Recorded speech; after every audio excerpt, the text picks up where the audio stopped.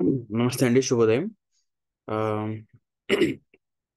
మనము ఆర్గనాన్లో one twenty one అఫర్జన్ దగ్గర ఉన్నామండి ఇప్పుడు. అంటే వన్ ట్వంటీ వన్లో మనకి ఇక్కడంతా కూడా మెటీరియల్ మెడికా ఫార్మేషన్ గురించి చెప్పారు. అంటే మెటీరియల్ మెడికా ఎప్పుడు ఫామ్ అవుతుంది ఎలా ఫామ్ అవుతుంది ఎవరెవరు ఏం చేస్తే ఫాలో అవుతుంది ఒక మొత్తం ఫాలో అవుతుంది ఫామ్ అవుతుంది అనేది ఇక్కడ మనకు చెప్పారు. అంటే ఇక్కడ మెడిసిన్స్ కానీ లేదంటే ఈ డ్రగ్స్ కానీ ఎట్లా ప్రిపేర్ అవుతాయి? ఆ ప్రిపేర్ అయినవి ఎట్లా ప్రూవ్ అవుతాయి అని లాస్ట్ టైం మనకి వన్ ట్వంటీ వన్లో చంద్రమోహన్ అన్న చెప్పారు. అంటే a strong strong heroic doses ఉంటే అది రోబస్ట్ పర్సన్స్కి మైల్డ్ ఉంటే కొంచెం మీడియం ఓకే అనే పర్సన్స్కి ఇంకా చాలా వీక్ ఉన్న పర్సన్స్కి చాలా వీకెస్ట్ డోసెస్ కూడా ఉన్నాయి. ఆ విధంగా ఒక్కొక్క శరీరం తీరుపై ఒక్కొక్క విధంగా ప్రయత్నిస్తుంటే ఆ యొక్క ప్రూవింగ్స్ అనేవి మనకి వచ్చేదాన్ని బట్టి వాటిని కూడా ప్రూవింగ్ రీప్రూవింగ్ చేసుకొని మెటీరియల్గా ఫామ్ చేస్తాం. అట్లా అని చెప్పేసి ఊరికూరికి ఏదన్నా ఓ రెమెడీ తీసుకొని చేస్తామా? అంటే కాదు. దీనికి కూడా కొన్ని రూల్స్ అండ్ రెగ్యులేషన్స్ ఉన్నాయి. అది ఇక్కడ మనకి మాస్టర్ గారు వన్ ట్వంటీ టూలో ఇప్పుడు మనకి చెప్తున్నారు అనమాట in these experiments on which depends the exactitude of the whole medical art అంటే ఈ మెడిసిన్సే ఈ మెడిసిన్స్ ఏవైతే ఉన్నాయో ఇవే కదా మొత్తం ఆ హోమియోపతిని అంతా కూడా ఒక దగ్గర నిల్చోబెట్టేవి.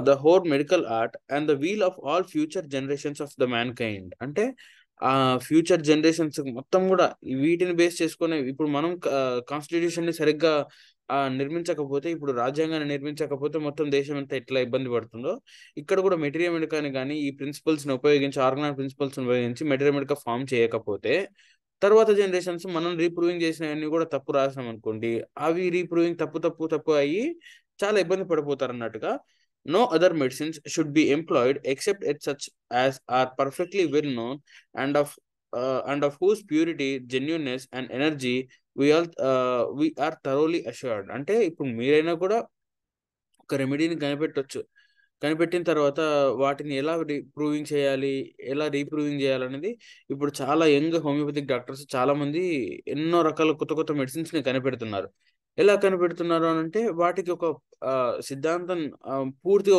ఉపయోగించుకోలేనప్పటికీ కూడా కొద్ది కొన్ని ప్రిన్సిపల్స్ యూజ్ చేసి మెడిసిన్స్ని కనిపెడుతున్నారు అనమాట అంటే వీటిని కూడా అంటే ఇప్పుడు కనిపెట్టిందంతా కూడా కంపల్ కంపల్సరీ మార్కెట్లోకి మెటీరియల్ మెడికల్ మెటీరియల్ మెడికల్లోకి ఎంటర్ అవ్వాలి అంటే వాటన్నిటి ఆ క్రైటీరియా అన్ని కూడా మనం ఫుల్ఫిల్ అవ్వాలి. ఆ ఫుల్ఫిల్ అవ్వడానికి ఏమేం కావాలి? వాటిని రీప్రూవింగ్ చేయాలి. అందరిదిలా అన్ని సక్సెస్ పైన రీప్రూవింగ్ చేయాలి అన్ని ఏజెస్ పైన రీప్రూవింగ్ చేయాలి. చేసిన తర్వాత వచ్చిన మెటీరియల్ కానీ అన్ని కూడా కాంప్లికేటెడ్ కంబైన్డ్గా రాసుకొని అవన్నీ కూడా చూసుకోవాలి. అవన్నీ చూసిన తర్వాతే వాటి యొక్క ప్యూరిటీ కానీ జెన్యున్నెస్ కానీ ఎనర్జీ కానీ దాన్ని ప్రూవింగ్ చేసినప్పుడు మనకు వచ్చే సిమ్టమ్స్ ఒక్కటే కాదు. మళ్ళీ అది డిసీజ్డ్ పర్సన్లో కూడా ఎంప్లాయ్ చేయాలి. ఎంప్లాయ్ చేసిన తర్వాత అది తగ్గుతుందా లేదా అనేది కూడా చూడగలగాలి. దాని తర్వాత వచ్చేటువంటి సిమ్టమ్స్ని కూడా చూడగలగాలి.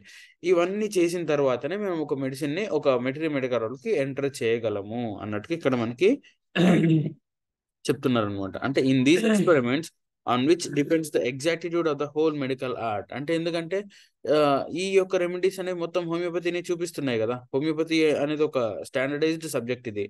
వాటిని మనము వేరే విధాలుగా మనం చేయడానికి వీలు లేదు కదా అన్నట్టుగా ఇక్కడ చెప్తున్నారు అనమాట సో ఈ ఏదైనా ఒక హోమియోపతిలోకి డ్రగ్ వచ్చింది అని అంటే ఇవన్నీ నామ్స్ అండ్ కండిషన్స్ని అదంతా కూడా ఫాలో అయ్యి మాత్రమే వచ్చి ఉంటుంది అని ఇక్కడ చెప్తున్నారు అనమాట లేదంటే అప్పట్లోనే ఎన్నో మెడిసిన్స్ని ఇప్పుడు మనకి ఉన్నట్లుగానే అప్పుడు మనకి చిన్న చిన్న మనకు కనిపించిన అన్ని కూడా మెడిసిన్స్ ఎలా అవుతున్నాయో అంటే వీటి నుంచి కూడా తయారు చేయొచ్చు వాటి నుంచి కూడా తయారు చేయొచ్చు అని అప్పట్లో కూడా ఉండేవి వాటిని అన్ని కూడా జాగ్రత్తగా గమనించుకుంటూ వాటిని మళ్ళీ రీప్రూవింగ్ చేసుకొని దాని వల్ల వచ్చే సైడ్ ఎఫెక్ట్స్ అవన్నీ కూడా గమనించిన తర్వాతనే వాటిని మెటీరియల్ ఎంటర్ చేయడం జరిగింది.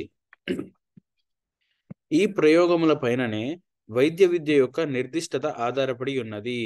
దానిపైననే రాబోవు తరముల ఆరోగ్య సంపద ఆధారపడి ఉండును. అంతే కదా? అంటే నెక్స్ట్ జనరేషన్ యొక్క ఫ్యూచర్ హెల్త్ అనేది ఎట్లా ఉంటుంది అంటే ఇప్పుడు మనం ఏదైతే ఇస్తున్నామో అదే ఫ్యూచర్ జనరేషన్స్కి ఉంటుంది. ఇప్పుడు వాళ్ళు మనకి ఆ సిక్స్టీన్ సెవెంటీన్ సెంచరీస్లో అన్ని కనిపెట్టి రాసిచ్చినందుకే మనకి ఇప్పుడు ఈ హోమియోపతి చదువుకుంటున్నాము చదువుకుంటున్న అర్థం చేసుకోవడానికి క్లాసెస్ పెట్టుకుంటున్నాం.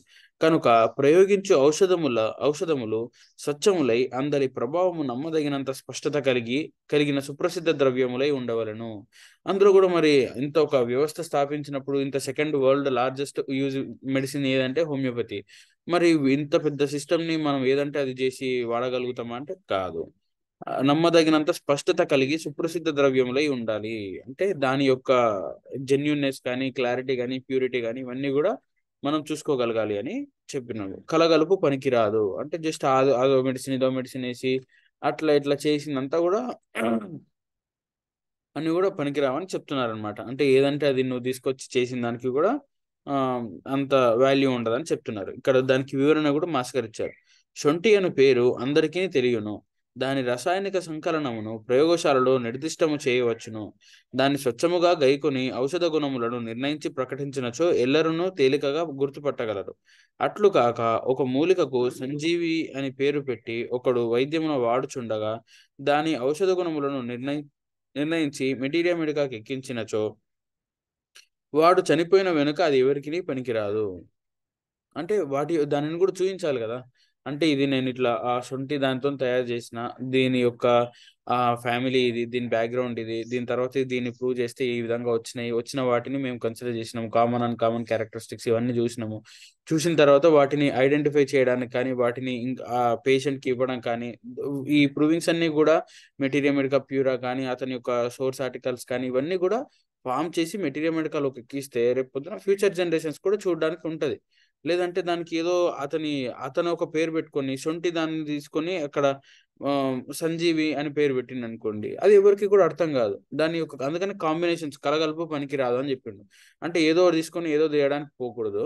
దాని యొక్క ఒకవేళ నువ్వు ప్రూవింగ్ చేయాలి పర్ఫెక్ట్గా ఉండ ఉంటది అని అనుకుంటే అది నువ్వు ఉన్నంత వరకే ఉంటది. లేదంటే మళ్ళీ నువ్వు తప్పు తప్పు రాసావు అనుకోండి తర్వాత నువ్వు అట్లా రేర్ రెమెడీస్ ఎస్టింగ్విష్ అయిన రెమెడీస్ కొన్ని వందల రెమెడీస్ ఉన్నాయి. కానీ ఇక్కడ ఏంటి మనం జాగ్రత్తగా మళ్ళీ ఇవ్వాలి అని అనుకున్నప్పుడు మాత్రం ఒక జనరేషన్కి ఇవ్వాలనుకున్నప్పుడు మాత్రం ప్రతి ఒక్కరు కూడా చూసుకొని జాగ్రత్తగా చేయాలని మాత్రం ఇక్కడ మనకి పర్ఫెక్ట్గా వన్ ట్వంటీ టూ పర్సెంట్లో మాస్టర్ క్లియర్గా చెప్పడం జరిగింది. ఇది మనకి బేసిక్గా ఫార్మేషన్ ఆఫ్ మెటీరియల్ మెడికా అనేది కూడా అనుకోవచ్చు అనమాట ఇందులో మనం జాగ్రత్తగా అన్ని చూసుకొని మనం ఏదైనా మెటీరియల్ మెడికల్ ఇవ్వాలి అని అనుకుంటే దాన్ని ఒక సెవెన్ ఎయిట్ ఇయర్స్ రీసెర్చ్ చేసి చేయవచ్చు చేయొచ్చు అనమాట ఓకే ఫైన్. నమస్తే ఇది ఇప్పుడు చంద్రబాబు ఒక చిన్న రీక్యాప్ చేసి నెక్స్ట్ సెషన్లోకి వెళ్తాం.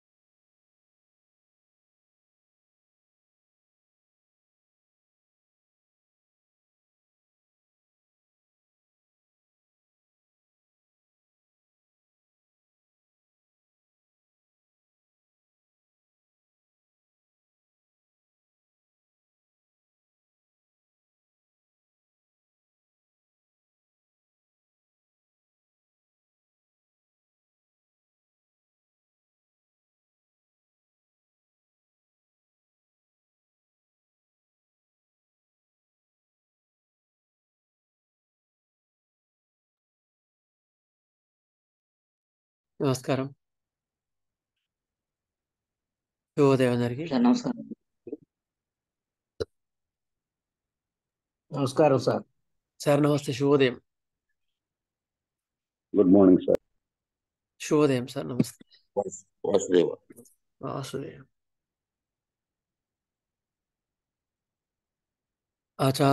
ఆచార్యమావాహయామి స్థాపయామి ఓజయామి కృష్ణమాచార్యమాయామి స్థాపయామి ఓజయామి. అందరిలోనూ నిన్నే చూస్తూ అంతర్యామిగా దర్శిస్తా. అందరి ద్వారా నిన్నే వింటూ गावे भाविस्ता। देवलसेवनो गाविस्तो रेपदसेवनो आसिस्ता दिवे लेदर्शिस्तो जीविस्तो तरिस्ता आचार्य वाहयामि स्थापयामि। पूजयामि आचार्यमावाहयामि स्थापयामि। पूजयामि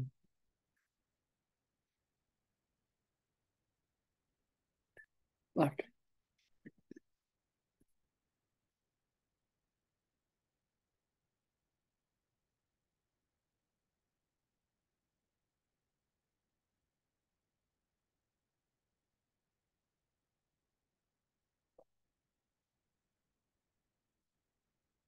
సో ఈరోజు మనం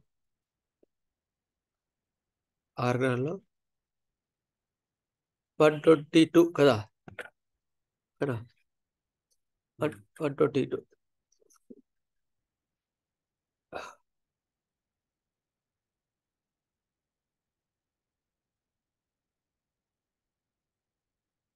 It is an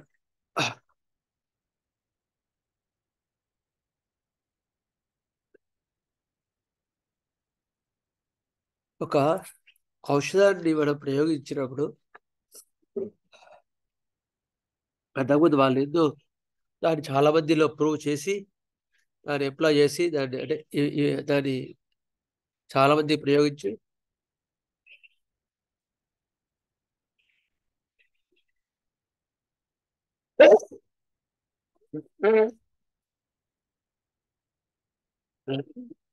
చాలా మంది మీద ప్రయోగించిన తర్వాత అది రెమెడీగా మారుతుంది?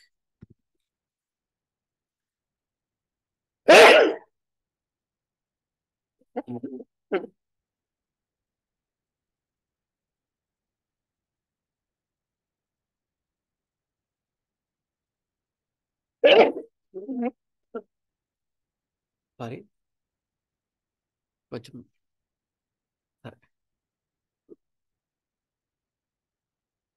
చాలా మంది మీద ప్రయోగించిన తర్వాతనే అది మందుగా మారుతుంది రెమెడీ మారుతుంది. Otherwise it is a medicine అయితే ఇక్కడ చెప్పుకోవాల్సిన విషయం ఏంటంటే ఇప్పుడు ఒక మందు ఇచ్చినప్పుడు అది చాలా మంది చాలా రకాలుగా దాన్ని ప్రూవ్ చేసినారు ఫస్ట్ చాలా మంది మందిలో. అయితే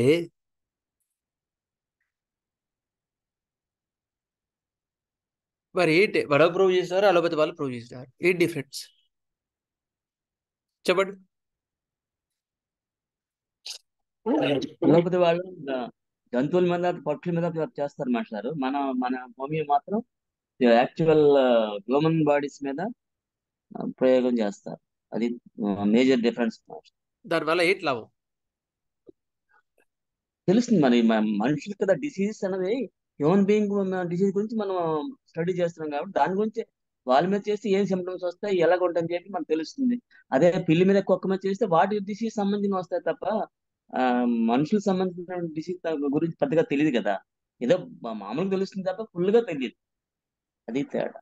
ఓకే, ఇంకా? వాటికేమో జంతువులకేమో మైండ్ గురించి ఎక్కువ దాని మీద ఉండదు. మనుషులకి మాత్రమే మైండ్ అనేది ఉంది కాబట్టి లక్షణాలు క్లియర్గా వస్తాయి. జంతువులకి కూడా మనస్సు ఉంటుంది కానీ మనుష్యుల్లో అది బాగా ఇవాల్వ్ అయి ఉంటుంది. అన్ని ప్లేన్స్ అందుకని బాగా ఇవాల్యూషన్ ఎవల్యూషన్లో ఒక స్టేజ్లో ఉన్నాం కనుక అప్పుడు ఏంటంటే మన హ్యూమన్ బీయింగ్స్ ప్రూవ్ చేసినప్పుడు డిఫరెంట్ ప్లేన్స్లో ఉండే సిమ్టమ్స్ అన్ని తెలుస్తాయి. అదే నక్స్వామిక విషమస్ చెట్టు ఆయుర్వేదంలో వాడతారు అలోపతిలో వాడతారు హోమియోపతిలో వాడతారు. ఒక ఎగ్జాంపుల్ తీసుకుందాం. ఆయుర్వేదంలో దేనికోసం వాడతారు విషమస్ చెట్టు? వాంతులు కానీ లేకపోతే లివర్ సంబంధించిన వారు డైజెస్టివ్ సిస్టమ్స్ ఉంటే క్రూడ్గా వాడతారు. అలోపతిలో కూడా అంతే. అదే హోమియోపతి వచ్చేవరకు ఎన్ని రకాలుగా వాడతా మనం అన్నిటికి వాడతాం ఎప్పుడు వాడతావు? వాడికి కోపం ఆవేశము కంట్రోల్ చేసుకోలేకపోవడము కదా. Uncontrollable anger.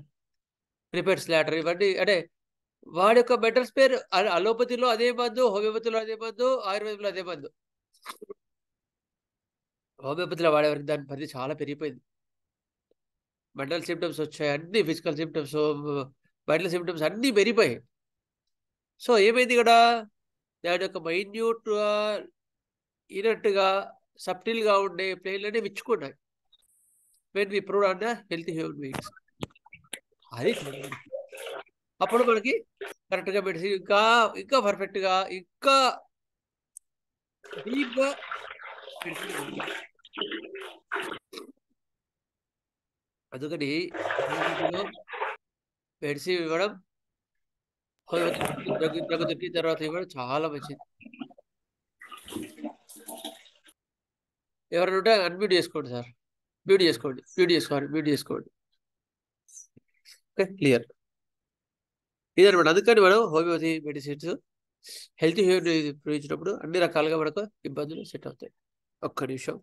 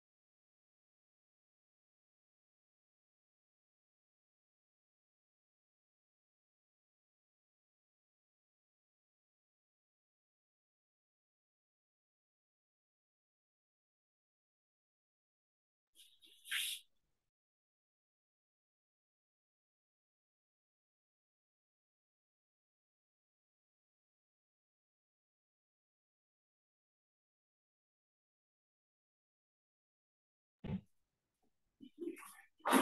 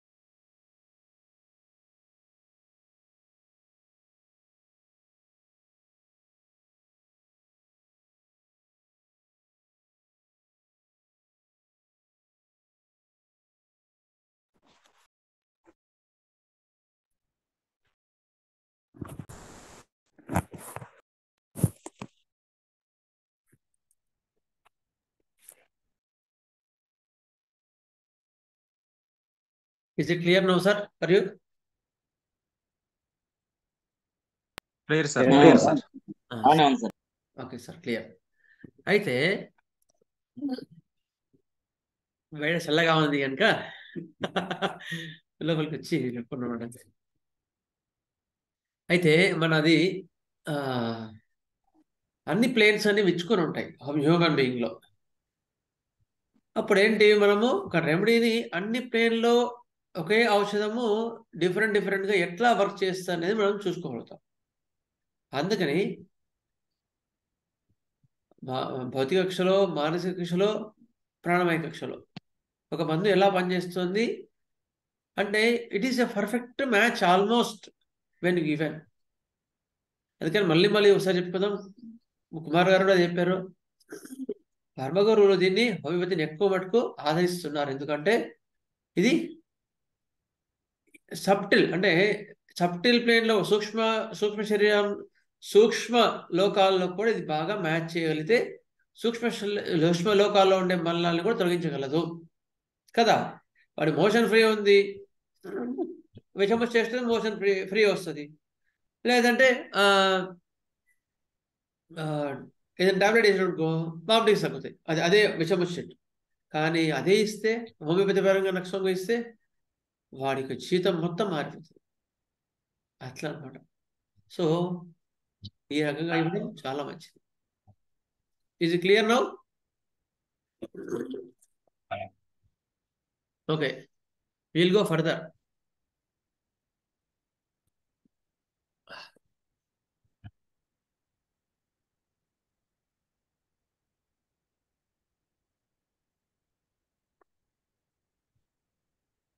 అయితే ఇవాళ కొంచెం ఇంకొంచెం ముందుకు వెళ్దాం ఇంతవరకు మన క్లాస్లో ఏం చెప్పుకున్నామంటే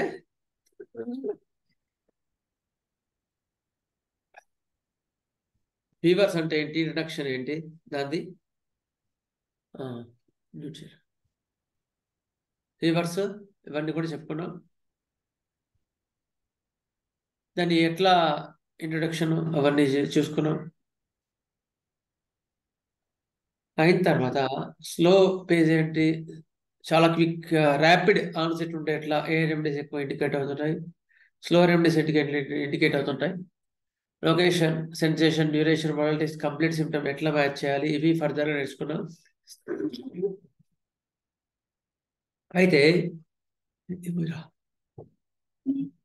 ఫస్ట్ నేను కూడా ఫీవర్స్కి వాటికి అందించేటప్పుడు ఎక్యూట్స్ అందించేటప్పుడు ఫస్ట్ ఈ విధంగా నేర్చుకున్నాను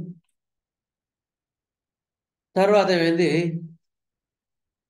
మా గురుగారికి మా సార్ని కలిసినప్పుడు. ఇంకో డిఫరెంట్ యాంగిల్స్ చెప్తే సార్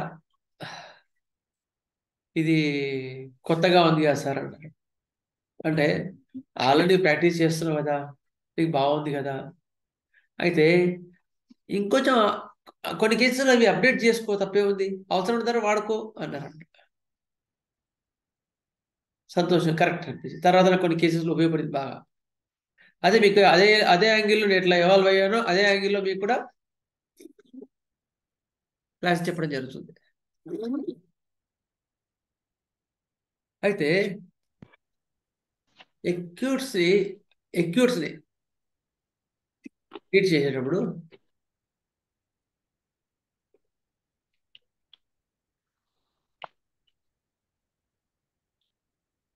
యాక్టివిటీ కూడా చాలా ముఖ్యం. యాక్టివిటీ ఒక మనిషి యాక్టివిటీ ఎట్లా ఉంది? దాన్ని బట్టి కూడా డిఫరెన్షియేట్ చేయడం. అది ఒక డిఫరెన్షియేషన్ మనం కూడా ఫస్ట్ ఇంట్రడక్షన్లో చెప్పాను నేను rapid onset slow onset చెప్పిన తర్వాత మళ్ళీ మీకు డిఫరెంట్ యాంగిల్లో మళ్ళీ డ్రగ్స్ చదువుకుందామని. అదే ఇప్పుడు మనం స్టార్ట్ చేయబోతున్నాం. ఏంటి అది అంటే on the basis of activity of the patient activity అంటే ఎవరైనా చెప్పగలుగుతారా what is activity daily performance అతని తాలూకా ప్రొఫెషనల్ డ్యూటీ పెర్ఫార్మెన్స్ హుషారు ఏ విధంగా చేస్తున్నాడు అంది యాక్టివిటీ ఓకే గుడ్ బాగుంది. ఇంకా? ఆహార విహార వ్యవహారాలు ఓకే రోజువారీ వ్యవహారం. మూమెంట్ మూమెంట్స్ కరెక్ట్ మూమెంట్స్ ఇవన్నీ మీరందరూ చెప్పినవన్నీ కూడా యాక్టివిటీ కిందకి వస్తాయి it is a broad word is action during illness or from a change of life a part of change of life to that day, you will consider.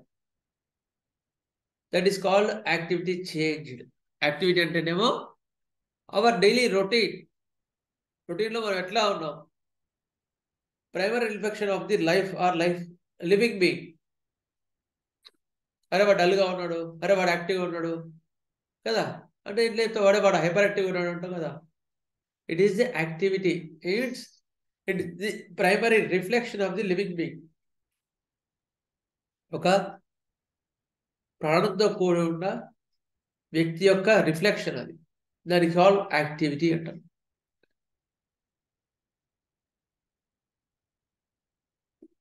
Activity ఉంటేనే మనిషికి ప్రాణం ఉన్నట్టు. లేకపోతే ఉండటా లేనట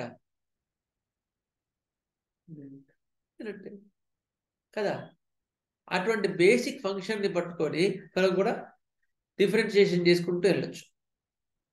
ఫీవర్స్ కానీ కోల్డ్ కాఫ్ కానీ ఏ ఏ అక్యూట్లో కూడా మనకు వస్తుంది జనరల్గా అయితే ఫీవర్స్ జరుపుకుంటున్నాం ఇప్పుడు అయితే యాక్టివిటీ బేసిస్ మీద కొన్ని డ్రగ్స్ ఏమో స్పీడ్గా పనిచేస్తాయి కొన్ని స్లోగా పనిచేస్తాయి. కదా? స్పీడ్గా పనిచేసే రెమెడీస్ జనరల్గా అంటే నాట్ ఓన్లీ ఫీవర్ జనరల్గా క్విక్గా ఉండే రెమెడీస్ ఏమి ఉన్నాయి ఫాస్ట్గా ఉండేవి? బెల్లడోనా కదా? చాలా క్విక్గా ఉంటాయి. ఎకోనైట్ ఆర్సిగాలో ఇవన్నీ క్విక్ యాక్టింగ్ రెమెడీస్ చాలా rapid rapid acting remedies. Mercury కదా? టారెంటులా నక్సోల్గా ఇవన్నీ చాలా ఫాస్ట్గా ఉంటాయి. ఇవన్నీ యాక్టివిటీ బేసిస్ మీద మనం డిఫరెన్షియేట్ చేస్తాం. క్రానిక్లో ఎక్యూట్లో కూడా చేయొచ్చు. అదే స్లోగా రెమెడీస్ అనుకో. ప్రయోనియా జెల్సేమియం బరైటా కాల్కేరియా హెల్లిబోరస్ ఇవన్నీ కూడా స్లో ఫేస్ ఉంటాయి యాక్టివిటీ. క్రానిక్లో. అంటే మీకు యాక్టివిటీ అంటే అర్థం కానీ చెప్తున్నాను. ఇట్లా ఉంటాయి. దీన్ని బట్టి మనం యాక్టివిటీని అర్థం చేసుకుంటాం. అయితే యాక్టివిటీ ఎక్యూట్స్లో ఉన్నప్పుడు ఇది క్రానిక్లో ఉన్నప్పుడు.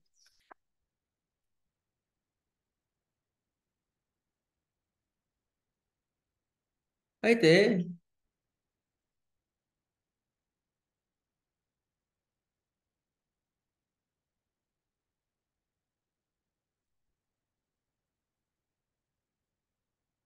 యాక్టివిటీ పరంగా మూడు రకాలుగా మనం విభజించుకోవచ్చు. ఒకటేంటి? డ్రౌజీనెస్ మత్తుగా ఉన్నారనుకో అలాంటి వాళ్ళు ఒక గ్రూప్ ఓకే? అలాంటి వాళ్ళంతా ఒక గ్రూప్ డ్రౌజినెస్ ఇది మా గురువు గారైన విజయకర్ సార్ యొక్క థియరీ ఆఫ్ ఎక్యూట్స్ నుంచి మేము నేర్చుకున్నాం. మీకు అదే చెప్తాను. థియరీ ఆఫ్ ఎక్యూట్స్ ఓకే అయితే యాక్టివిటీ డ్రౌజీనెస్ ఒకటి. డల్ మత్తుగా ఉంటారు బాగా. ఆ గ్రూప్ వాళ్ళందరూ బా వాళ్ళకి జ్వరం రాగానే ఫీవర్ రాగానే మత్తుగా నిద్రపోతూ ఉంటారు. ఇంకో గ్రూప్ వాళ్ళు డల్గా ఉంటారు. సార్ జ్వరం వచ్చినప్పుడు వాడు డల్గా పడుకుంటున్నాడు సార్ ఊరికే. ఇంకో గ్రూప్ వాళ్ళు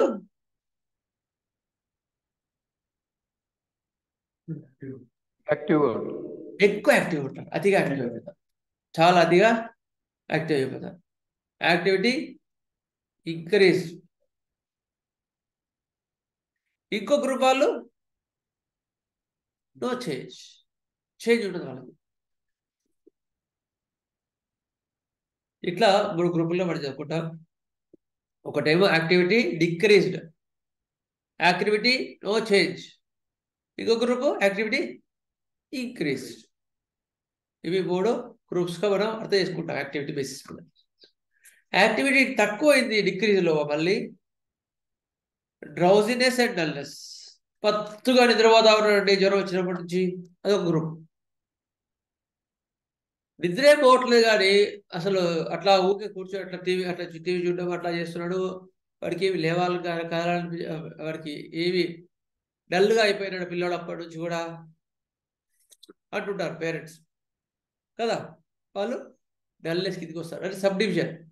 ఒకటేమో డిక్ డిక్రీజ్డ్ యాక్టివిటీ ఒకటేమో నో చేంజ్ ఇంకోటేమో ఇంక్రీజ్డ్ యాక్టివిటీ. కదా? ఒకటేమో డిక్రీజ్డ్ యాక్టివిటీలో మళ్ళీ సబ్ డివిజన్స్ ఏంటి? Drowsiness dullness. ఇది డిఫరెన్షియేట్ చేయడం చాలా చాలా కష్టం. చాలా అనుభవం కావాలి. ఈ పేరెంట్స్ డైరెక్ట్గా చెప్పలేరు. ఏ కొన్ని కొంతమంది చెప్తారు. థర్టీ పర్సెంట్ చెప్తారు సెవెంటీ పర్సెంట్ చెప్పారు. ఇది పట్టాలంటే కష్టం. సార్ డల్గా ఉన్నాడు సార్ జ్వరం వచ్చినప్పుడు అంటారు అంతే. కానీ పేషెంట్ తీసుకొచ్చింటారు వాళ్ళ అమ్మ వాళ్ళు కూర్చోబెట్టినారు కూర్చోబెట్టి రెండు నిమిషాలకి నిద్రపోతుంది. ఆ బాబా మళ్ళీ తట్లేవి ఏం బాబా ఎట్లా నాకు చూపి అంటే నాకు చూపించిన తర్వాత ఆ బాబా ఎప్పటి నుంచి జ్వరం ఉంది కదా మనం మాట్లాడే మళ్ళీ నిద్రపోయింటది. మళ్ళీ లేపాల్సి వస్తుంది. దే ఆర్ కాల్డ్ డ్రౌసీనెస్ గుర్తుపెట్టుకోండి. ఇట్ ఈస్ కాల్డ్ డ్రౌసీనెస్ మీకు చాంబార్లో బయట వెడిగిలో వచ్చుతారు వచ్చిన వెంటనే నిద్రపోయారు మళ్ళీ లేపాల్సి వస్తుంది. ఇప్పటిదాకా పిల్లలు లేచేవి సార్ మళ్ళీ పడుకుంది అంటారు పేరెంట్స్ క్లియర్ చెప్పలేరు ఈ పాయింట్స్. మనం అబ్జర్వ్ చేసుకోవాలి. చాలా చాలా ముఖ్యం. డ్రౌజినెస్ ఓకే అర్థమైతే డ్రౌజినెస్ అంటే ఏంటిది? క్లియర్గా? తెలిసింది సార్. డ్రౌజీనెస్ వేరు డల్నెస్ వేరు. డల్గా ఉంటే నిద్ర నిద్రపోరు. కొన్ని కొన్ని కేసెస్లో అది ఈజీగా పట్టడం వాళ్ళకు లోపల ఏమడుతావు మనం మరి వాళ్ళ వాళ్ళకి ఎట్లా ఉంది అంటే సార్ మత్తుగా ఉందా నిద్రపోతుందా? అని అడుగుతాం. మత్తుగా ఉందా డల్గా ఉందా? అని అడుగుతాం. వాళ్ళు చెప్పలేరు కొంతమంది పేరెంట్స్. అవును సార్ కొంచెం నేను సుఖి కొంచెం ఆ, నలతగా ఉంది కదా పడుకుని ఉంది అంటారు వాళ్ళు. పేరెంట్స్. కదా?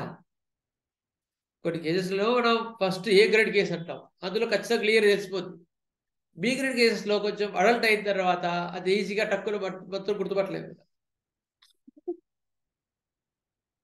అప్పుడు ఎట్లా అడగాలి క్వశ్చన్? అంటే first యాక్టివిటీలో dull activity no decrease activity ఎట్లా గుర్తుపట్టాలనేది మీకు చెప్తాను. తర్వాత మీకు మెటీరియల్ అంతా క్లియర్ చెప్తాం మళ్ళీ. ఒకటేమో డ్రౌజినెస్ హై గ్రేడ్లో ఉన్నప్పుడు ఎట్లా గుర్తుపెట్టాలో చెప్పారు. క్లినిక్లో మన బద్దలు నిద్రపోతారు పలకరిస్తే. కొంచెం అట్లా నిద్రపోరు. సార్ ఇంటికాడ ఎట్లా ఉందంటే డల్గా ఉంది సార్ అంటారు అదే అయితే అప్పుడు అడగాలి. మాకేమో ఆ డ్రౌజినెస్ గ్రూప్ ఉంది వస్తుందేమో అని డౌట్ అప్పుడు ఏం చేయాలా అంటే అడగాలి. ఇంటి దగ్గర ఎట్లా ఉంది? ఎన్నింటికి నిద్రపోయావు అంటే తెలియదు సార్ పాప అందరు బాగానే యాక్టివ్ ఉంది. ఆ, సడన్గా వచ్చి పడుకుంది. మామూలుగా అయితే ఆ టైంలో పడుకోదు. వచ్చి పడుకుంది. చెక్ చేసి జ్వరం ఉంది సార్ అని చెప్తా. మరి అప్పటి నుంచి ఎట్లా ఉందమ్మా?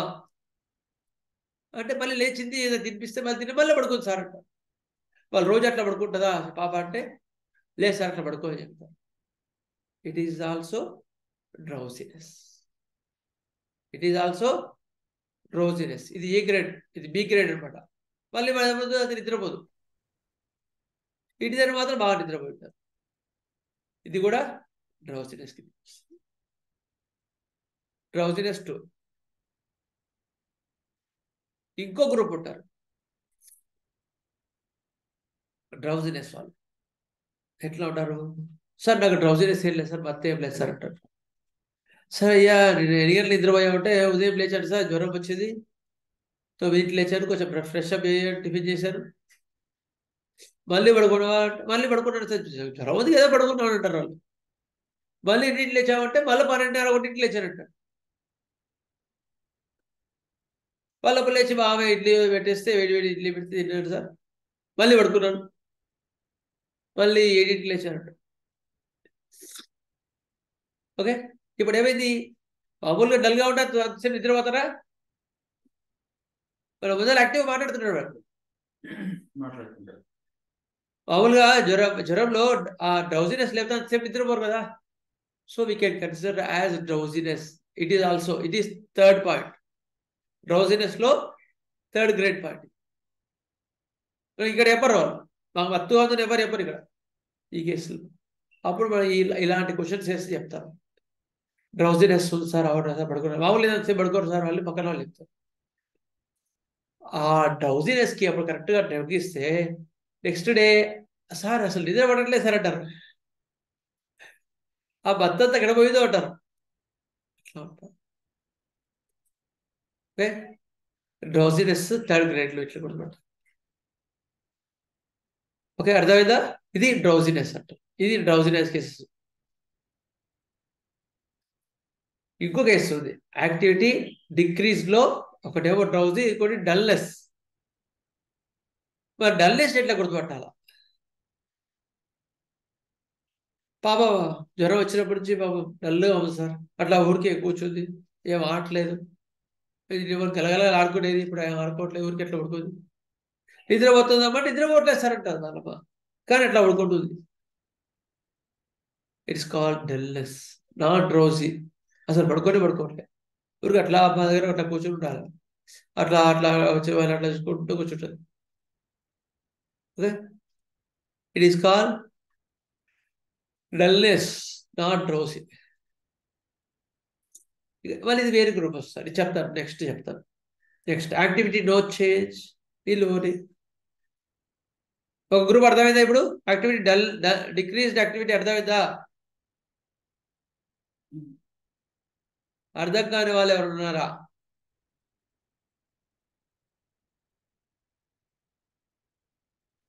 యాక్టివ్కు అపోజిట్ డల్ సార్ యాక్టివ్నెస్కి అపోజిట్ డల్నెస్. యాక్టివిటీలో ఇవి డిఫరెంట్ గ్రేడ్స్. యాక్టివిటీలో హైపర్ యాక్టివిటీకి ఆపోజిట్ డల్నెస్. హైపర్ యాక్టివిటీకి అది. ఓకేనా సార్? ఇదంతా activity different modes of activity when రెండుకి యాక్టివిటీ తేడా రెండు- రెండుకి తేడా నిద్ర ఉండదు అంతే. డ్రౌజినెస్ స్లిప్ నిద్ర ఉంటుంది డల్నెస్ నిద్ర ఉండదు. నిద్ర ఉండదు అది పట్టడం ఈజీ కాదు ప్రాక్టికల్గా. ఆఫ్ కోర్స్ అందుకని మళ్ళీ మళ్ళీ చెప్తున్నాను points okay okay next dullness and drowsiness అయిపోయింది. నెక్స్ట్ ఇంకో కేసు థర్డ్ రెండో సబ్జెక్ట్ ఏంటంటే నో చేంజ్ నో చేంజ్లో ఏంటి అంటే అంతకుముందు ఎట్లా ఉన్నాడో జ్వరం వచ్చిన తర్వాత కూడా అట్లాగే ఉన్నాడు పిల్లోడు. అంతకుముందు ఏమో ఎట్లా ఆడుకున్నాడో వన్ నాట్ ఫైవ్ ఫైవ్ వచ్చినా అట్లా ఆడుకుంటున్నాడు. పెద్ద డిఫరెన్స్ లేదు వాళ్ళ లోపల. జ్వరం చూస్తే వన్ నాట్ టూ మసిలిపోతుంది వన్ నాట్ త్రీ మసిలిపోతుంది కానీ వాడు మాత్రం డల్ కాలే it's call no change activity no change అంటారు వాళ్ళు.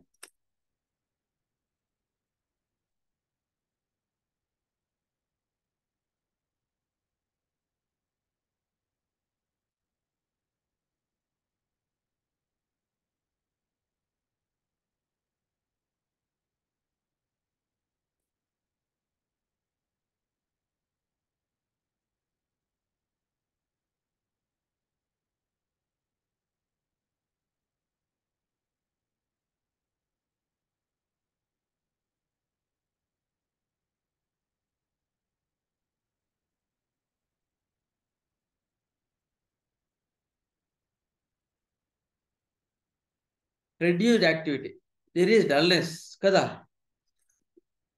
The patient would like to lie down on bed more than usual అట్లా పడుకోవాలని ఉండాలనుకుంటాడు వాడు. యాక్టివ్ లేకుండా ఉంటాడు the just rest and sleep ఇందులో డల్నెస్లో they just rest and sleep they don't go for the sleep ఇందులో స్లీప్ ఓవర్ పవరింగ్ అనొచ్చు. Sleep overpowers all the senses patient is difficult to arouse లేపాలంటే వాడిని కష్టం. Drowsing should be differentiate clinically from sleep comatose coma or unconscious coma unconscious కదా? ముందు స్టేలో అట్లా పడుకో ఉంటారు. స్లీప్ ఓవర్ పవరింగ్ అంట. నెక్స్ట్ ఇంకో వాళ్ళది activity Change.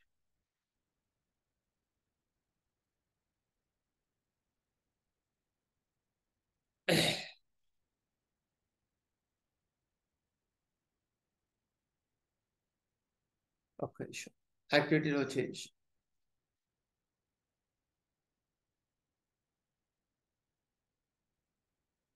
వీళ్ళు ఎట్లా ఉంటారు అంతమంది ఎట్లా ఉన్నారు అట్లాగే ఉంటారు సేమ్ ఉంటారు ఏ మార్పు ఉండదు దాని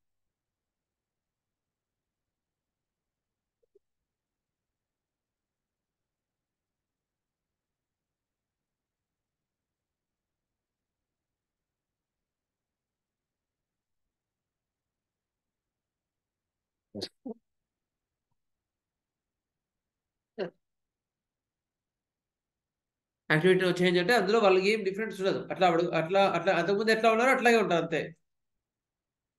ఎక్కువ మార్పు ఉంటుంది. వాళ్ళని యాక్టివిటీ నో చేంజ్ అంటాం.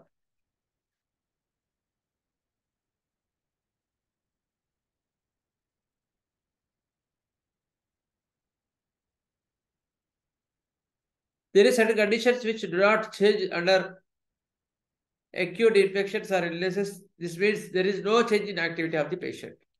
Patient has never dull or never hyperactive.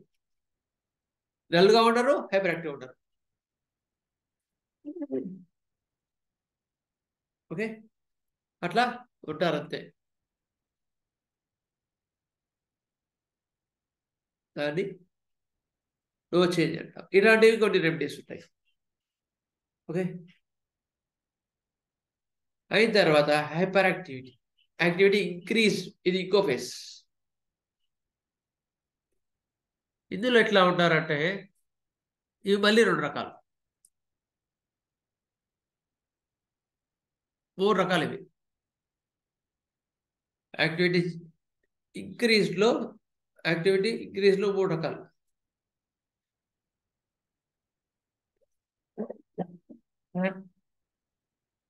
Sorry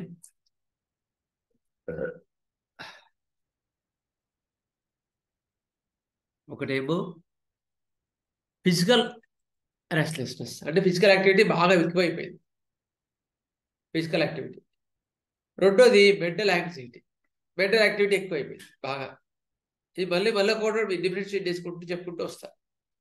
physical activity పెరిగింది. ఇవి కొన్ని రెమెడీస్ ఉంటాయి. మెంటల్ యాక్టివిటీ పెరిగింది ఇంకొన్ని రెమెడీస్ ఉంటాయి. వర్బల్ యాక్టివిటీ పెరిగింది. అంటే ఓన్లీ ఓకల్ యాక్టివిటీ బాగా పెరిగింది. జ్వరంలో కన్నా ఉత్తరగా జ్వరంలో బాగా ఎక్కువ మాట్లాడుతూనే ఉన్నాడు మాట్లాడుతూనే ఉన్నాడు. అది వర్బల్ యాక్టివిటీ ఇంక్రీజ్ అంటాం. ఇది ఇంకో డిఫరెన్షియేషన్ ఒకటేమో మళ్ళీ ఒకసారి చెప్తున్నా డిక్రీజ్డ్ యాక్టివిటీలో డల్నెస్ అండ్ డ్రౌసింగ్ ఇంకోటి నో చేంజ్ మూడిట్లో activity increased physical activity increased mental activity increased verbal activity increased ఇవి మూడు రకాలు. ఓకే? అయిన తర్వాత మళ్ళీ ఒక గ్రూప్లో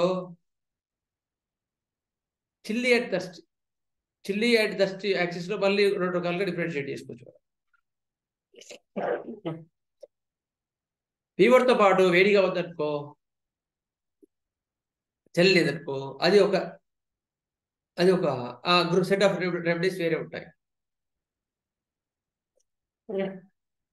జ్వరం వచ్చినప్పటి నుంచి చలి తట్టుకోలేకపోతున్నాండి చలి విపరీతంగా ఉందంటే చిల్లీ రెమెడీస్ కిందికి వస్తాయి. గాలి కావాలనిపిస్తుంది ఎక్కువగా వేడిగా ఉంది అంటే హార్ట్ రెమెడీస్ కిందికి వస్తాయి. ఓకే? ఇది ఇంకో another further differentiation of the activity first ఏమో యాక్టివిటీ డల్ డ్రౌజినెస్ తర్వాత సబ్ డివిజన్ ఏంటి అంటే మళ్ళీ ఇప్పుడు యాక్టివిటీ డల్గా ఉన్నాడు అనుకో డల్నెస్ అనుకో. డల్లో మళ్ళీ డల్గా ఉన్నాడంటే మళ్ళీ చలిగా చలి పడట్లేదా ఉమ్మరం పడట్లేదా అనాలి సార్ ఎండకి వెళ్ళి ఎండకు కూర్చుంటున్నాడు సార్ అంటే అర్థం ఏంటి? చిల్లి అని ఎండ వేడిగా so chilly activity dullness and chilly. మళ్ళీ కొన్ని రెమెడీస్ మారిపోతాయి యాక్టివ్ డల్లోకి కొన్ని మందులు వస్తాయి ఒక మందు మందులు వచ్చాయనుకో చలి పడట్లేదు చలిగా ఉంది విపరీతం చలి ఉంది ఎండ కావాలనిపిస్తుంది అంటే ఫిఫ్టీ పర్సెంట్ రెమెడీస్ మొత్తం మారిపోయినాయి డిఫరెన్షియేట్ అయిపోయింది ఇంకోటి అంటే హార్ట్ మరి ఇంకో కొన్ని రెమెడీస్ మారిపోయినాయి chilly and remedy chilly and hot మళ్ళీ ఫర్దర్ ఇంకో డివిజన్ ఏంటంటే thirsty and thirstlessness chilly thirsty chilly thirstlessness hot thirsty hot thirstless అంటే కొన్నిట్లో చలితో పాటు దాహం ఉందనుకో కొన్ని రెమెడీస్ వస్తాయి. కొన్ని సెట్ ఆఫ్ సిమ్టమ్స్ వస్తాయి. చలితో పాటు దాహం లేదనుకో ఇంకొన్ని రెమెడీస్ వస్తాయి. హార్ట్తో పాటు దాహం ఉందనుకో హార్ట్ థర్స్టీ హార్ట్తో పాటు థర్స్టీ అనుకో హార్ట్ థర్స్ట్లెస్నెస్ ఇది అనదర్ టైప్ ఆఫ్ డివిజన్ ఇప్పుడు అర్థమైందా కూడా మీకు? మేజర్గా ఎట్లా డిఫరెన్షియేట్ చేస్తున్నాం డ్రగ్స్ పరంగా? మళ్ళీ ఒక్కొక్కటి చెప్పుకుంటూ వస్తారు మీకు. ఏం కంగారు పడాల్సిన అవసరం లేదు. ఇప్పుడు ఈ ఇది ఇది అర్థమైందా మీకు? ఎట్లా డిఫరెన్షియేట్ ఏ డిఫరెన్షియేషన్లో వెళ్తున్నాము డ్రగ్స్కి అనేది? అర్థం అర్థం కాని వాళ్ళు ఎవరు ఉన్నారా? ఇంకా సార్ ఇంకా పాయింట్ మాకు అర్థం కావట్లేదు సార్ అంటే ఎవరు ఉన్నారా? క్లియర్ అందరికి అర్థమైనట్టే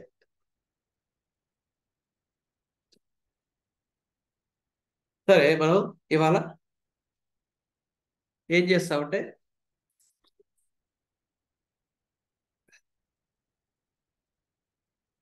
activity overpowering sleep overpowering అంటే మత్తుగా ఉన్నాడు ఆ రెమెడీస్ ఏవి ఉంటాయో విందాం మనం. మత్తుగా ఉంటాయి రెమెడీస్ ఏవి మీకు ఏమైనా ఐడియా ఉందా? మత్తుగా ఉండే రెమెడీస్ ఏవి ఉన్నాయి? జెల్స్మియం ప్రయోనియా.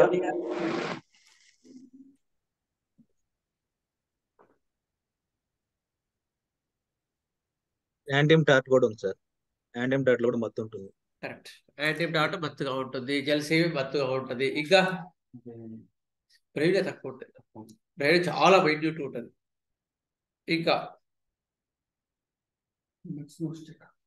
opium opium baptisia baptisia correct opium రాసుకోరా paper paper paper మీద రాసుకో పేపర్ ఫస్ట్ యాంటీమ్ డాట్ ఓకే రెండు డక్స్మోస్టా మూడు ఓపియం నాలుగు బ్యాప్టిషియా ఇంకా చెప్పండి ఇంకా బ్యాప్టిషియా తర్వాత ఇంకా జెల్సీమియం తెలిసి ఆల్రెడీ చెప్పారు కదా.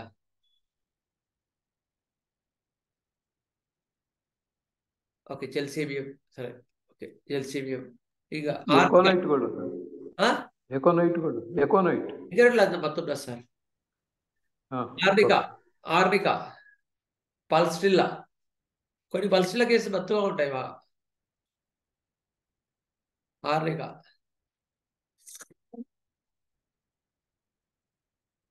ఇవి జనరల్ కాబట్టి మళ్ళీ కొన్ని తర్వాత యాడ్ చేస్తారు. నెక్స్ట్ వచ్చేప్పటికి ఇప్పుడు ఫస్ట్ ఒక రెమెడీ తీసుకుంటా. సార్ క్లాస్ చెప్పాడు కానీ ఏ రెమెడీ రెమెడీ మెట్టుబడిగా ఏం చెప్పలేదు అనుకుంటారు కొంతమంది.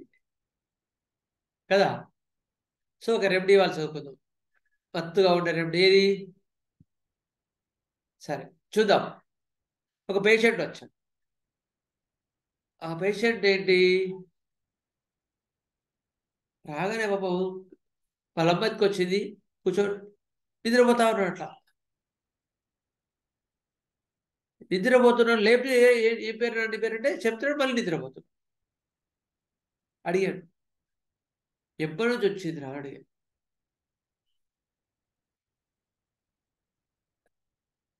ఎప్పటి నుంచి వచ్చింది అంటే వాతావరణం బాగా చల్లగా ఉంది సార్. బాగా వర్షం పడింది.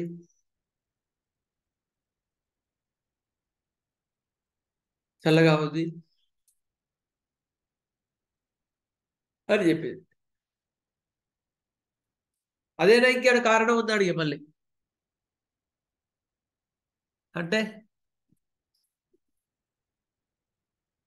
ఆ కేసులో ఏం చెప్పింది ఆమె? సార్ మొన్నటి దాకా అమ్మవారు పోసింది సార్. అమ్మవారు. ఏది? చికెన్ బాక్స్ చికెన్ బాక్స్ వచ్చి తగ్గింది. తగ్గిన తర్వాత వాతావరణం చల్లబడి చల్లగా చెప్పిన వినకుండా చల్లగాలి బాగా తిరిగినాడు. దీని తర్వాత విపరీతమైన జలుబు దగ్గు వచ్చింది. జలుబు దగ్గు వచ్చిన వెంటనే బాగా విపరీతంగా దగ్గు బాగా కళ్ళతో బాగా రగ్గరగా దగ్గుతో పాటు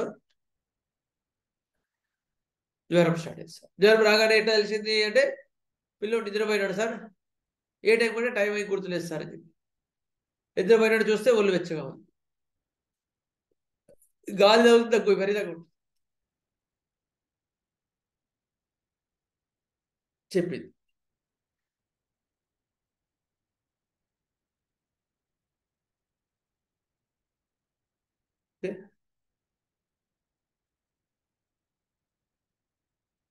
బాగా నీరసంగా ఉంటాడు. చిరాకు ఉన్నాడు. పుట్టుకోడు పోతే చిరాగ్గా ఉన్నాడు అది చూడకుండా ఏం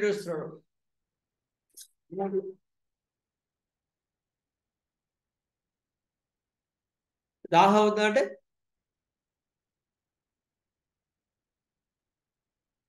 తక్కువ ఎప్పుడో ఒకసారి తాగుతున్నాడు. కొంచెం కొంచెం. చెల్లి పడట్లేదు.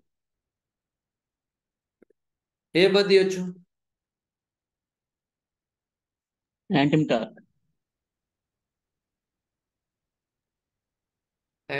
ఇవ్వచ్చు. బాప్టిషియా ఓకే బ్యాప్టిస్ట్ ఇవ్వచ్చు. ఇంకా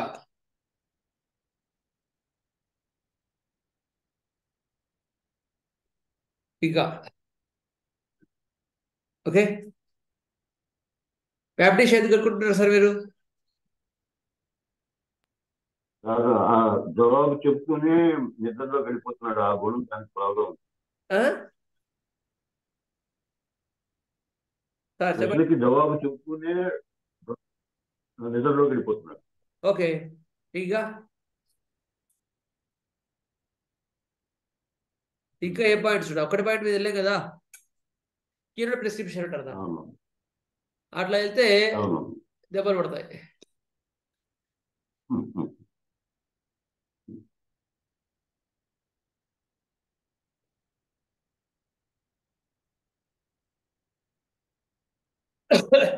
చిరాకు కూడా ఉంది.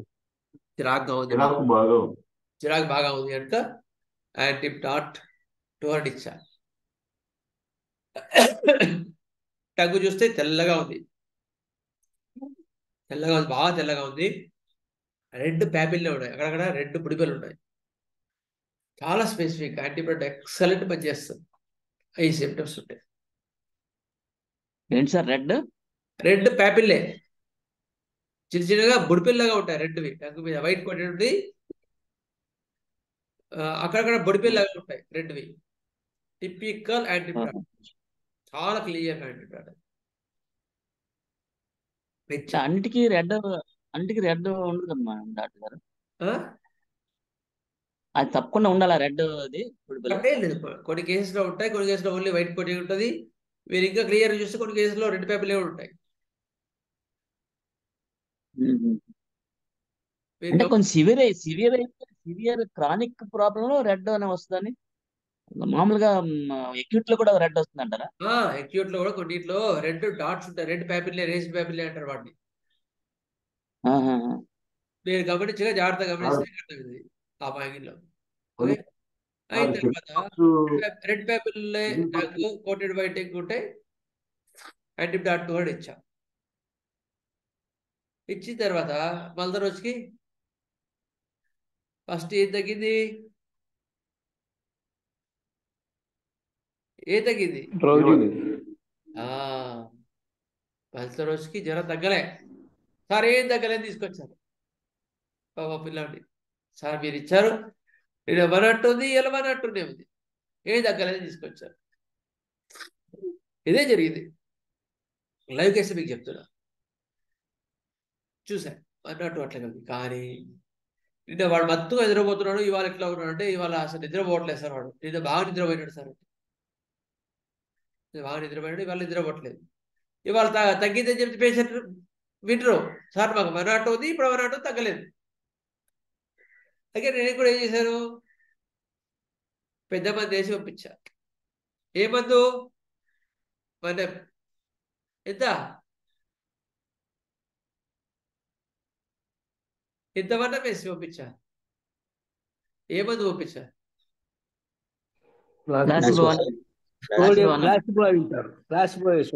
ప్లాసిబో సార్ వన్ వేసి పంపించా కదా? ఏగనే మళ్ళీ వచ్చాడు. సార్ జ్వరం కూడా తగ్గేది సార్. అంటే బాగా పని చేశారు మొన్న ఎంత మంది పని చేయలే కానీ మళ్ళీ పని చేసేది సార్. బాగా పని చేసింది జ్వరం కూడా బాగా తగ్గిపోయింది. కానీ దగ్గు మాత్రం బాగా ఇంకా ఉంది. చెస్ట్ అంతా బాగా గురగురు గురగురు దగ్గు బాగా ఉంది అని చెప్పిన. మళ్ళీ ఇప్పుడు ఏం చేయాలా? మళ్ళీ క్లాస్ ఇప్పుడు టెన్ ఏ వేసా. క్లాస్ ఇప్పుడు టెన్ ఏ వేసా. క్లాస్ ఇప్పుడు టెన్ ఏ వేసి పంపిస్తే ఆ బస్ దోచుకు చాలా పడి తగ్గిపోయింది యాక్టివ్ అయినాడు తగ్గింది అన్ని తగ్గిపోయినాయి. ఇట్లా జాగ్రత్తగా ఉన్నాడు కేసులు జాగ్రత్తగా డీల్ చేయాలి. తగ్గింది సార్ తగ్గలేదు సార్ అంటే ఇప్పుడే మళ్ళీ యాంటీబయాటిక్ టూ రెండో వన్ ఏం ట్రై చేయదు అయితే బ్రాండీషియా యాంటీగానో చూసుకోదు అందుకని తర్వాత ఒక డ్రగ్ సెలెక్షన్ చేయడం ఒక ఎత్తు. సెలెక్షన్ చేసిన తర్వాత whether we're going right way wrong way అనేది ఒక ఎత్తు. అవి గమనించుకోవాలి ఇట్లా యాంటీబయాటిక్తో బలి తగ్గిందండి. అయిన తర్వాత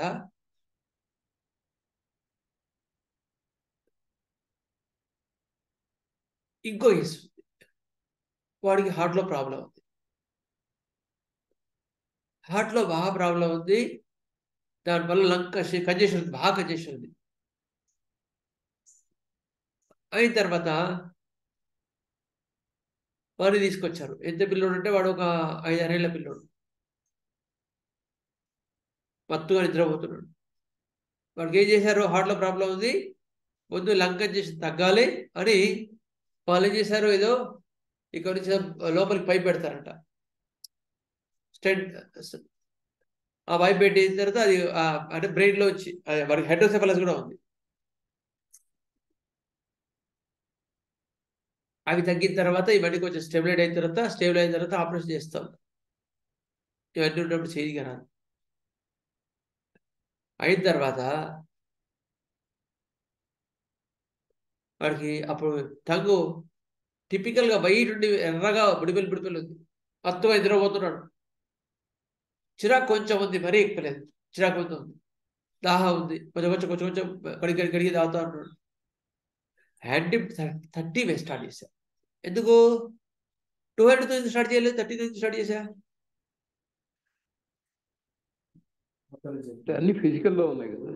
ఎగ్జాక్ట్లీ ప్యాథలాజికల్గా బాగా బాగా ఎక్కువ నాకు వేసాను అప్పుడు నేను ప్రాక్టీస్ చేసిన కొత్తలో. అయిన తర్వాత థర్టీ చేసిన తర్వాత బాగా తర్వాత తర్వాత యాంటీప్టాట్ థర్టీ తర్వాత బాగా అసలు అప్పుడు బాగా ఫ్రీక్వెంట్ కోల్డ్ కాప్స్ వచ్చేసి బాగా సఫర్ అయ్యేవాడు ఇప్పుడు అట్లా రావట్లేదు రా రా తగ్గిపోయి. తర్వాత టూ హండ్రెడ్ ఇచ్చాను తగ్గిపోయి. దాదాపుగా సిక్స్ మంత్స్లో ఆల్మోస్ట్ స్టేబుల్ అయిపోయాడు. ఏ ప్రాబ్లం లేదు. తర్వాత వెళ్తే ఆ స్టెంట్ తీసేసినారు హార్ట్ ఆఫ్ బ్రెయిన్లో ప్రాబ్లం బ్రెయిన్లో ప్రాబ్లమ్స్ తగ్గిపోయినాయి అంటే స్టెంట్ తీసేసినారు లేదా హార్ట్ ప్రాబ్లం ఉంది దాని తర్వాత కాన్స్టిట్యూషన్ వేసిన తర్వాత అది బాగా ఇంప్రూవ్ అయింది ఇప్పుడు ఆపరేషన్ పెద్ద అవసరం లేదు. చూద్దాం వెయిట్ చేద్దాం అన్నారు. కాన్స్టిట్యూషన్ ఇచ్చిన తర్వాత అట్లా కేసు బాగా ఇంప్రూవ్ అయింది అంతకుముందు నడిస్తే దగ్గర వచ్చేది ఇప్పుడు అతను నడుస్తే దగ్గర రావట్లేదు. They are waiting we're waiting అట్లా అనమాట అట్లా మనకి చాలా useful remedies antibiotic patients weight gain చేయగలిగితే సంతోషం సార్. ఆ కేసు ఎట్ట సక్సెస్ అవుతుందని మనకు తెలుస్తుంటుంది. నమ్మి అట్టు ఉంటే. మంచి లైన్లో మనం పోతున్నప్పుడు వాళ్ళు వెయిట్ చేయగలిగితేనే ఈ కే ఇట్లాంటి కేసులు సక్సెస్ అవుతాయి. వాళ్ళు వెయిట్ చేయాలంటే మనకు ఎక్స్పీరియన్స్లో మనకి కేసు ఎట్లా వెళ్తుంది? మనం గైడ్ గైడ్ గైడ్ చేయగలగాలి వాళ్ళకి. ఇది తగ్గింది తగ్గింది తగ్గుతుంది తర్వాత తగ్గుతుంది అంటే జాగ్రత్త ఉండాలి మీరు అని చెప్పగలగాలి. అప్పుడు వాళ్ళకి నమ్మకం వస్తుంది.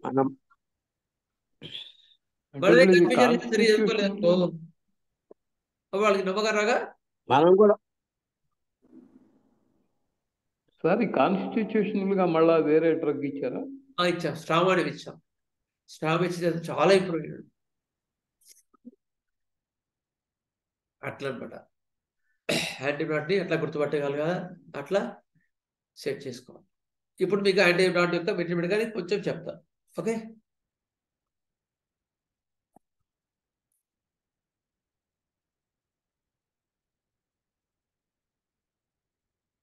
స్లీప్ ఓవర్ పవరింగ్లో antidote sleepy chilly and thirstlessness sleepy పత్తుగా నిద్రపోతున్నాడు. Excess sleep. నిద్రపోతూనే ఉన్నాడు నిద్రపోతూనే ఉన్నాడు. Excess perspiration. చెమట కూడా విపరీతంగా ఉంటుంది. యాంటీడాట్లో ఎక్సెస్ పర్స్పిరేషన్. Excess weakness. విపరీతమైన డీల్స్ ఉంటుంది విపరీతమైన డీల్స్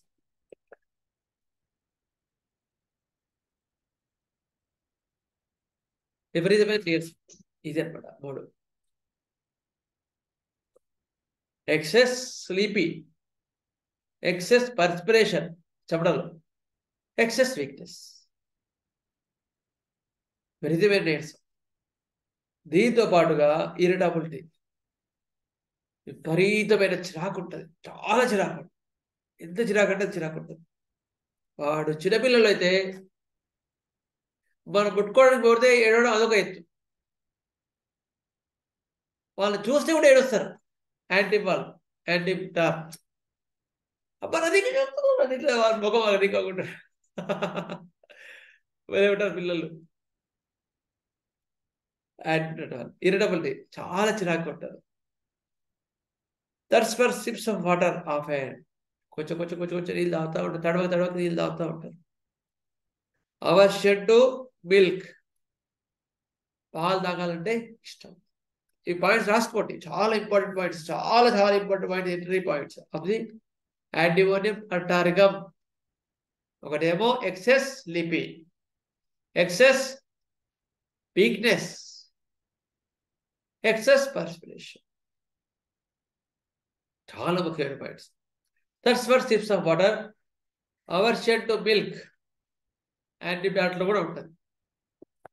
నెక్స్ట్ వ్యాధి కారణాలు ఏంటి? యాంటీబయాటిక్లో అంటే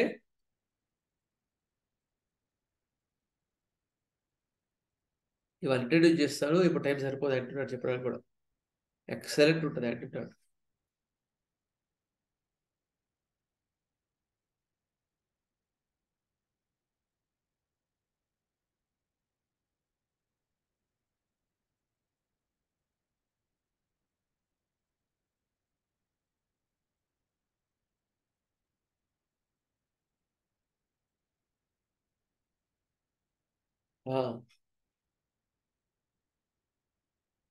విపరీతమైన ప్రోస్ట్రేషన్ నీరసం చాలా నీరసం ఉంటుంది.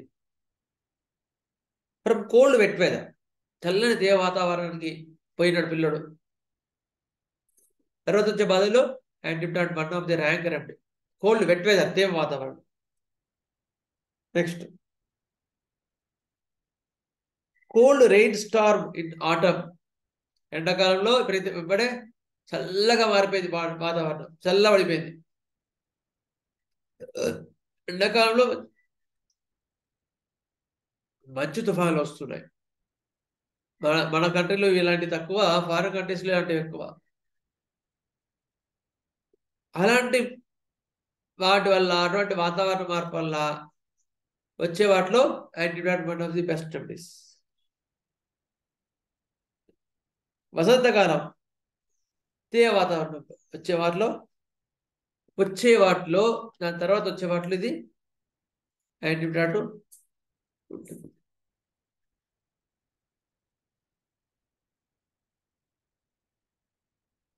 Chilly remedy. యాంటీబయాటిక్ ఇది chilly remedy. Prepared for tartaric ఎమరిక్ emetic టాటారికం. Fast acting చాలా ర్యాపిడ్గా పనిచేస్తుంది. ర్యాప్ చాలా ఫాస్ట్గా పనిచేస్తారు. స్పీడ్గా పనిచేస్తుంది అది నా ఉద్దేశం. ఆన్సర్ ఉండవచ్చు ఉండొచ్చు. మెల్లమెల్లగా రావచ్చు కానీ పనిచేయడం మాత్రం ఫాస్ట్గా పనిచేస్తుంది. Touch me not is a core గుర్తుపెట్టుకోండి. యాంటీబయాటిక్ ఇక్కడ కోర్ ఏంటి? టచ్ మీ నాట్ నన్ను ముట్టుకోదు అంటాడు. ఏడుస్తాడు. Look me not talk me not touch me not look me not talk me not అట్లా ఉంటారు.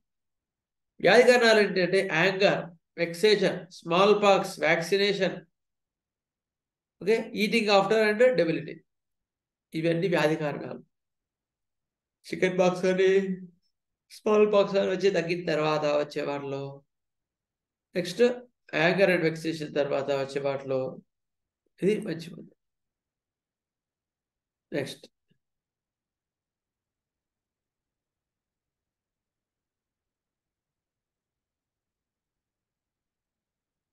desires to be carried erect. వీడి దగ్గు ఆడి జలుబు కానీ ఎక్కువ బాగా తగ్గుతుంటే బాగా లోపల గురుగురు ఉందనుకో అట్లా స్టేట్గా ఎత్తుకోమంటాడు ఇట్లా పడుకొని పెడితే ఏడుస్తాడు. మళ్ళీ ఇట్లా ఎత్తుకోవాలి భుజం మీద ఎత్తుకోవాలి? తల ఇట్లా ఎత్తేసి ఇట్లా పడుకోవాలి రిలీఫ్ ఉంటుంది వాడికి. ఎందుకో లోపలంతా బాగా? యువోని ఎలా ఉంటుంది. అందుకని వాడు ఇట్లా ఎత్తుకోవాలంటే ఉంటే ఉంటుంది. Child does not want to be examined by the doctor వాడు చూడు చూడు ఇంకెక్కడ will howl and shriek when attempt to examine గట్టి గట్టి అరవడం పడవ పలవెట్టడం ఇవన్నీ చేస్తూ ఉంటాడు. కదా? అక్కడ మనం antibiotic గుర్తుపట్టచ్చు. Great sleepiness and irresistible to sleep with nearly all complaints అన్నింటిలో కూడా విపరీతమైన నీరసం ఉంటుంది. వాడికి ఏది వచ్చినా విపరీతమైన నీరసం ఉంటుంది. విపరీతమైన వత్తుగా ఉంటారు. చాలా. Nausea vomiting and coldness and prostration. Runs ఆ ఓల్ ద రెమెడీ ఏవి? వికారం. వాంతులు. చల్లబడిపోవడం. తీర్చు ఇవన్నీ కూడా చాలా ఉంటాయి. Antibiotic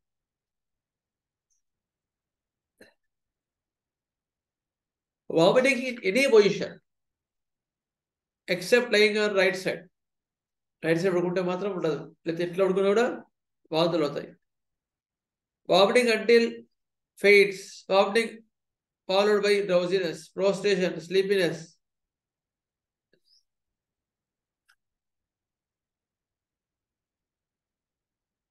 desires apples and fruits acids which disagrees apples అవి ఇష్టంగా తింటాడు పండ్లు ఇష్టంగా తింటాడు పడవు. తర్వాత ఇంక ఎక్కువ ఇంకా తక్కువ అవి. Vomited immediately aversion to milk which vomited immediately especially milk వికారం వాంతులు బాగా ఎక్కువ ఉంటాయి కంటిపేటలు కూడా. Tongue thick yellow white coated with red papillae red papilla ఉండడం మీద? క్లియర్గా ఉంటాయి. Sudden and alarming symptoms Telugu చెప్పే సరళంగా వచ్చే వాటి కూడా యాంటీబయాటిక్ చాలా బాగా పనిచేస్తుంది.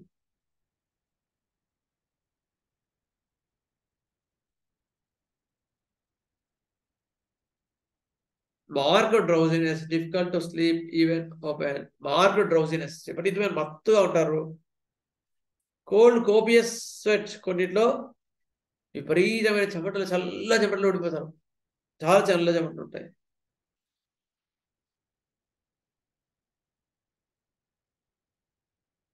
Better by like or right side right side కొట్టే వాడికి హాయిగా ఉంటుంది. కొన్ని ఇంపార్టెంట్ పాయింట్స్ చెప్తాను.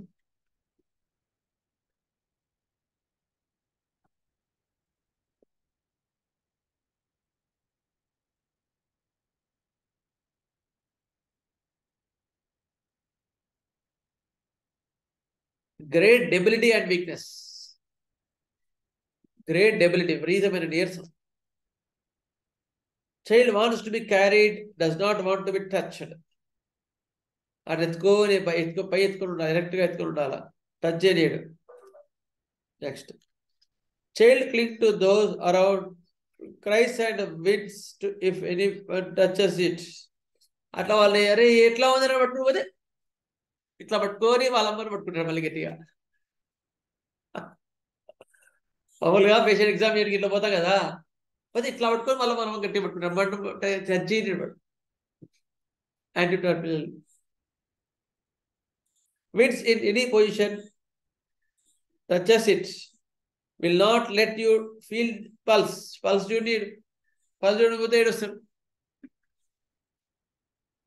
అయితే ఇలాంటి వాటిలో కూడా ప్యానిక్ అయిపోతారు ఒక అబ్బాయి. ఎంత ప్యానిక్ అయిపోయిందంటే అంత ప్యానిక్ అయిపోయింది. అసలు అక్కడి నుంచే భయపడింది. అంటే డిఫరెన్షియేట్ ఎట్లా చేసుకోవాలని చెప్తున్నాను ఆయన వాళ్ళు అట్లా ఉంటారు యాంటీబయాటిక్ వాళ్ళు ఏంటి? లోపలికి వస్తారు. కానీ వాళ్ళమ్మని పట్టుకొని ఉంటారు. నేను టచ్ చేయనియర్ నేను చూడనియర్ అమ్మాయి ఆ లోపల రావడానికి వాళ్ళకి పాపం లోపల తీసుకురావడానికి చాలా ఇబ్బంది అయింది. కొన్ని పాయింట్స్ తీసుకొని పరిస్థితులు అటువంటి ఇచ్చా. ఇచ్చిన తర్వాత నెక్స్ట్ ఆ అమ్మాయి వచ్చి నెక్స్ట్ విజిట్లో అమ్మాయి వచ్చి క్లియర్ చెప్తుంది. ప్రతిసారి ఫోన్ చేసినప్పుడు వాళ్ళని ఏదైనా ఇబ్బంది ఫోన్ చేస్తే నేను కూడా మాడతాను డాక్టర్ గారితో ఆమెనే ఫోన్ చేసి మాడతాను పల్స్లా అంతే ఏ రెమెడీ మరి ఒక్కొక్క రెమెడీకి చాలా యాంగిల్స్ ఉంటాయి. బాగా బాగా చదవాలి పెద్ద సముద్రం. ఏమని చెప్పారు? పల్స్ చెప్పండి మన సార్. పల్స్టిలా పల్స్టిలా తగ్గిపోయింది తగ్గిపోయింది అమ్మాయికి. ఏంటి ఏంటి లక్షణాలు సిమ్టమ్స్ అన్నారు? భయం ఎక్స్ట్రీమ్ ఫియర్ ఎక్స్ట్రీమ్ ఫియర్ చెప్తాను డిఫరెన్షియేట్ చెప్తున్నాయి అంటే ఒక్కోసారి మనకు గుర్తుపడడానికి ఒకసారి కష్టం అవుతుంది వాటిని జాగ్రత్త చూసుకోవాలి. నెక్స్ట్ ఇలా let great sleepiness irresistible inclination to sleep అని నిద్రపోతుంటారు. కాన్స్టెంట్ డిస్ట్రెస్సింగ్ కఫ్ విపరీతమైన దగ్గు. లూజ్ కాఫ్ ర్యాట్రిక్ కాఫ్ మొత్తం ఇదంతా కూడా తేడా ఉంటుంది బాగా తేడా ఉంటుంది when the patient coughs appears to be large accumulation of mucus in the chest and bronchi which would expect but little దగ్గి దగ్గి ఇవ్వకి బాగా లోపల ఎంత ఉన్నట్టు ఉంటుంది బయటికి మాత్రం కొంచెం వస్తుంది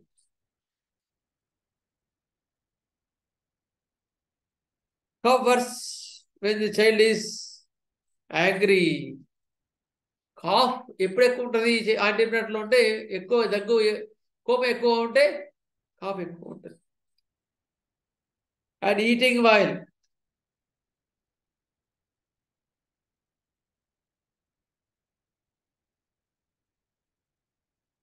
nausea with frequent vomitings are bitter సవర్ substances దగ్గు దగ్గు తగ్గి వాంతులు వస్తూ ఉంటాయి వీరికి కడుపులో విస్కారం ఉంటుంది. విరితంగా ఉంటుంది. ఇంకా ఎక్స్ట్రీమ్ కేసు మీకు చెప్పలేదు. యాంటీబయాటిక్ ఎక్స్ట్రీమ్ లైఫ్ అండ్ సమస్యలు వాటిలో కూడా పనిచేస్తుంది. అది మన కెంట్ గారు క్లియర్ చెప్పినారు. కెంట్ మీకు ఒక పాయింట్ చెప్పేసి నేను ఆపేస్తా.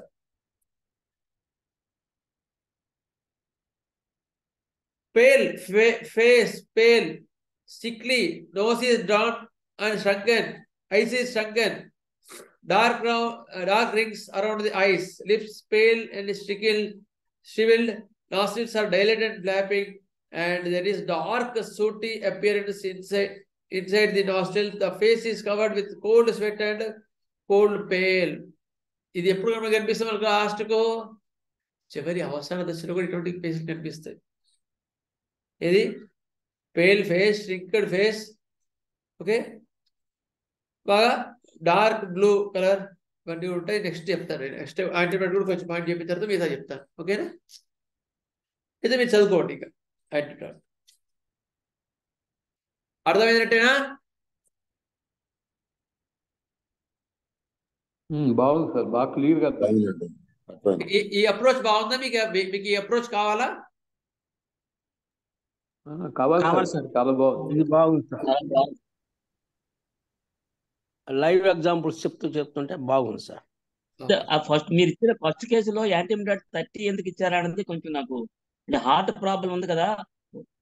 యాంటీ యాంటీబయాటిక్ అంటే లంగ్ ప్రాబ్లం గురించి ఎక్కువ ఇది ఉంటుంది. మీరు హార్ట్ ప్రాబ్లం ఉన్నాయి ఉన్నా సరే యాంటీబయాటిక్ ఎందుకు వెళ్ళారంటే కొంచెం డౌట్ సార్ నాకు.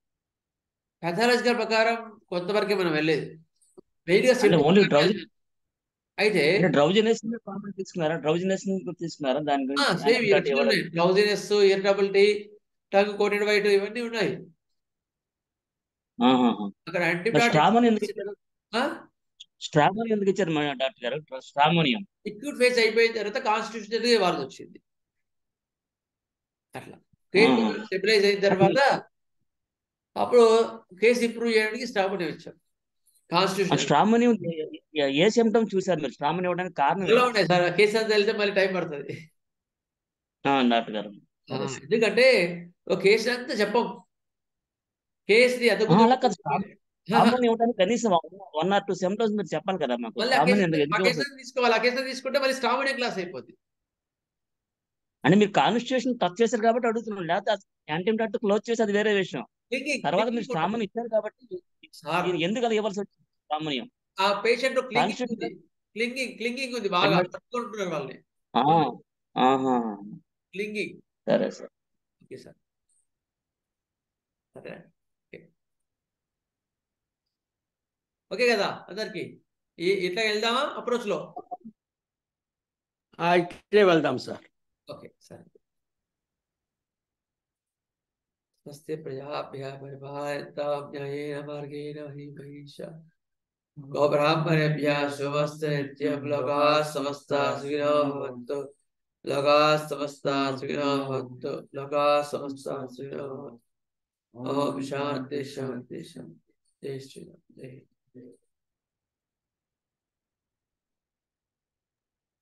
Thank you, sir. Thank you, sir.